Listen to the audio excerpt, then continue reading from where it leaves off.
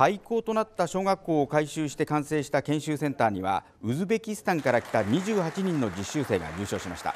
当初は2020年度での解消を目指し面接などが行われましたが新型コロナの影響で外国人技能実習生の入国がストップされおよそ2年越しでの研修スタートとなりました。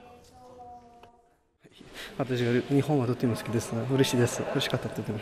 はい。一生懸命です。頑張ります実習生は日本語の講習や生活マナー交通ルールなどを学んだ後来月からは道内の病院や福祉施設の給食調理員として配属される予定です。